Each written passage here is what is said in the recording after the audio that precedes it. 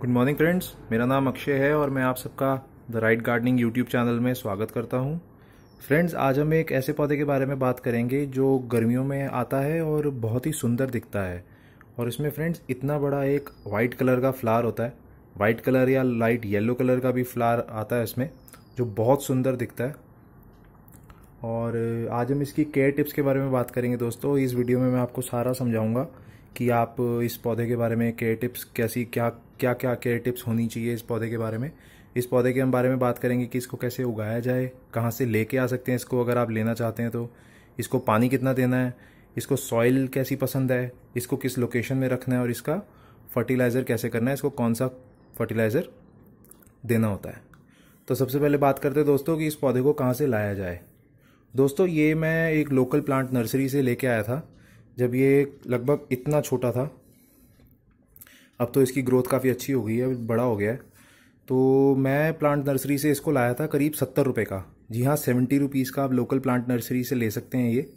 Local plant nursery nursery यहाँ मेरे घर के बिल्कुल पास में ही है तो मेरे को थोड़ा सस्ते में मिल गया। वैसे ये कई प्लांट नर्सरीज में ये पौधा बहुत महँगा भी है, दो सौ, ढाई सौ रुपये के ऊपर का मिलेगा आपको। तो दूसरी चीज़ अगर आपको लग रहा है दोस्तों कि ये पौधा थोड़ा महँगा है एक्सपेंसिव है तो आप इसकी कटिंग भी लगा सकते हैं। कटिंग से भी ये बहुत आसानी से उग जाता है।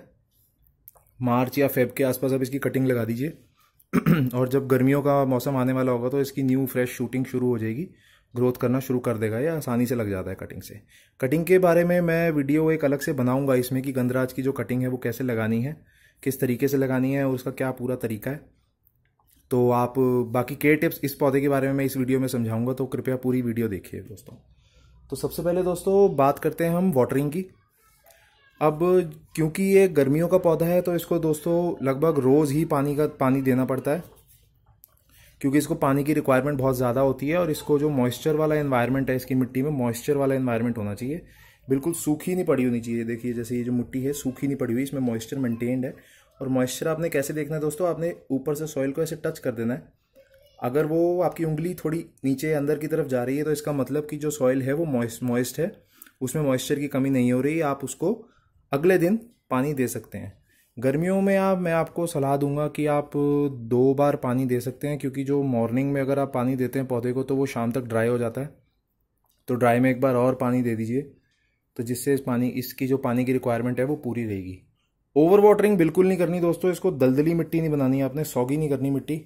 नहीं तो ये फिर जो प्लांट है शॉक में चला जाता है और इसकी ग्रोथ जो है ढंग से नहीं होगी और इसके जो पत्ते हैं, जो लीव्स हैं, वो गिरना शुरू हो जाती हैं।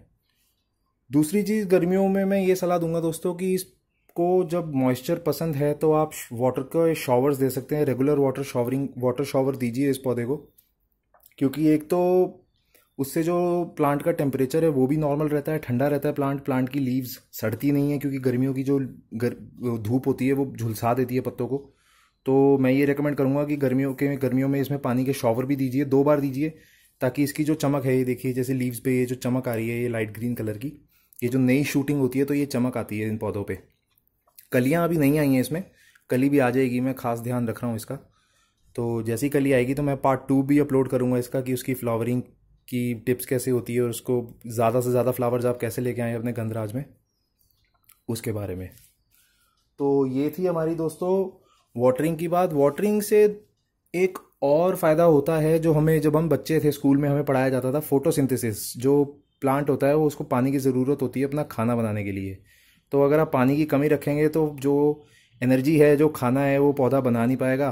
और जब एनर्जी नहीं होगी पौधे में तो पौधा ग्रो कैसे करेगा? दूसरी चीज़ जो पानी की ज़रूरत होती है पौधे की, वो होती है खाना यहाँ से वहाँ एनर्जी यहाँ से वहाँ ले जाने के लिए। जिस तरीके से एक इंसान के शरीर को पानी की ज़रूरत होती है और पानी ना मिले तो वो सूखने लग जाती है उसकी स्किन वगैरह, वैसे ही एक प्लांट को पानी की रिक्वायरमेंट बहुत ज़रूरी होती है और स्पेशली गर्मियों वाले प्लांट को तो पानी की रिक्वायरमेंट बहुत ज़्यादा चाहिए होती है। अब आगे बढ़ेंगे हम दोस्तों इसकी लोकेशन के बारे में कि इसको कहाँ रखा जाए। तो लोकेशन की अगर मैं बात करूँ दोस्तों तो इसको कम से कम पाँच से छः घंटे की डायरेक्ट सनलाइट चाहिए, क्योंकि गर्मियों का पौधा है ये। डायरेक्ट सनलाइट में आप रखेंगे तो कभी कभी इसकी जो लीव्स हैं वो ब्राउन भी होनी शुरू हो जाएँगी। ये देखिए जो लीव्स हैं, ये ब्राउन हो रही हैं। लेकिन अब इससे घबराइए मत, क्योंकि जो गर्मियों की धूप जो बहुत तेज़ होती है, वो कभी कभी पत्तों को ब्राउन कर देती है। उसकी वजह से टेम्परेचर थोड़ा हाई हो जाता है पौधे का तो वो कभी कभी लीव ब्राउन हो जाती है। लेकिन उससे घबराने वाली बात नहीं है। ये फुल सनलाइट का पौधा है, गर्मियों में आता है। और इसको फुल सनलाइट डायरेक्ट सनलाइट बहुत अच्छी लगती है। और जो डायरेक्ट सनलाइट अगर इस, अगर ये पौधा ढंग से ग्रो नहीं कर रहा तो अगर आप इसकी लोकेशन डायरेक्ट सनलाइट पे रख देंगे डायरेक्ट सनलाइट के अंदर रख देंगे तो ये बहुत अच्छी ग्रोथ आपको दिखाएगा। तो ये थी दोस्तों लोकेशन की बात। अब अगली बात हम करते हैं दोस्तों कि इसको मिट्टी कैसी पसंद है। तो जो मिट्टी है दोस्तों, वो बिल्कुल भी दलदली नहीं होनी चाहिए, सौगी नहीं होनी चाहिए, जैसा कि मैंने पहले बताया। पोरस मिट्टी होनी चाहिए ड्रेनेज सिस्टम बहुत अच्छा होना चाहिए, पानी खड़ा नहीं रहना चाहिए गमले में, बिल्कुल भी। अगर आपने ज़मीन पे लगाया है इसको पौधा तो वो तो जो पानी है वो तो एब्जॉर्ब हो जाएगा, लेकिन अगर गमले में आप पानी खड़ा रखेंगे तो इसका जो ग्रोथ है उस पर फ़र्क पड़ेगा। तो इसलिए आपको देखना है कि इसमें पानी आप कैसे दे रहे हैं। और दूसरी चीज़, आपने ये नहीं ध्यान रख, ध्यान देना कि ऊपर वाली जो लेयर है वो सूख रही है तो ही मैं इसमें पानी दूँ। ऐसे नहीं करना इसमें। आपको इसको रोज़ गर्मियों में पानी देना है और ध्यान देना है साथ ही साथ कि इसमें मॉइस्चर मेंटेन रहे और इसकी जो मिट्टी है वो दलदली ना बने। ज़्यादा वो ना सौगी ना कर दें आप इस चीज़ की। तो ये थी दोस्तों इसकी मिट्टी की बात। अब हम दोस्तों बात करेंगे कि इसको किस तरीके का फर्टिलाइज़र चाहिए। क्योंकि इसका जो ग्रोथ मंथ होते हैं वो मार्च से लेके अक्टूबर तक होते हैं दोस्तों। पिछले दिवाली पे भी मेरे अच्छे खासे मतलब फूल आए थे इसमें तो मैंने जो यूज़ किए थे। इसका जो ब्लूमिंग सीज़न होता है वो मार्च से अक्टूबर के बीच वाला होता है। तो अक्टूबर के बीच में अच्छी ग्रोथ दिखाता है। तो आप उन दिनों में जो ग्रोथ सीज़न है वो आप महीने में दो बार एन इसमें दे सकते हैं या डीएपी के ग्रैन्यूल्स चार पाँच ग्रैन्यूल्स डाल सकते हैं मिट्टी में। गोबर की खाद भी आप दे सकते हैं इसको। गोबर की खाद बहुत अच्छी होती है पौधे के लिए, लेकिन गोबर की खाद उतने अच्छे रिज़ल्ट प्रोवाइड नहीं करती लेकिन मैं दूसरी तरीके से आपको केमिकल फर्टिलाइज़र यूज़ करने की सलाह नहीं भी दूँगा, क्योंकि जो डीएपी ग्रैनुअल्स हैं वो बहुत ही हैवी केमिकली फर्टिलाइज़र फर्टिलाइज़र होते हैं, वो प्लांट को अच्छा फर्टिलाइज़र तो देते हैं, लेकिन बहुत प्लांट आपका स्ट्रांग होना चाहिए उस फर्टिलाइज़र को झेलने के लिए। तो मैं आपको दोस्तों रेकमेंड करूँगा कि आप एनपीके ही दीजिए। एन एनपीके खाद बहुत अच्छी होती है। अगर अगर आप एन एनपीके नहीं दे सकते, गोबर की खाद दे दीजिए। अगर आप, और एन एनपीके देने का इसका एक दोस्तों तरीका है। आपने एन एनपीके क्या करना है? एक लीटर से दो लीटर पानी में डाइल्यूट करके एक से दो चम्मच इसको एक डब्बा, रोज़ सुबह अर्ली मॉर्निंग आप दे दीजिए। वो उसके लिए बहुत है। महीने में दो बार, पंद्रह दिन में एक बार।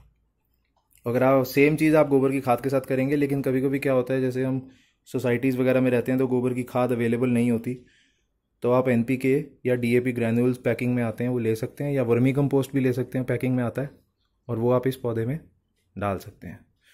तो दोस्तों, ये थी हमारी वीडियो गार्डेनिया प्लांट के बारे में गंदराज प्लांट के बारे में, इसकी केयर टिप्स के बारे में। अगर आपका कोई भी सवाल है, आप कुछ पूछना चाहते हैं इस पौधे के बारे में तो कमेंट सेक्शन में ज़रूर अपना सवाल पूछें मुझसे, मैं आपको रिप्लाई करूँगा।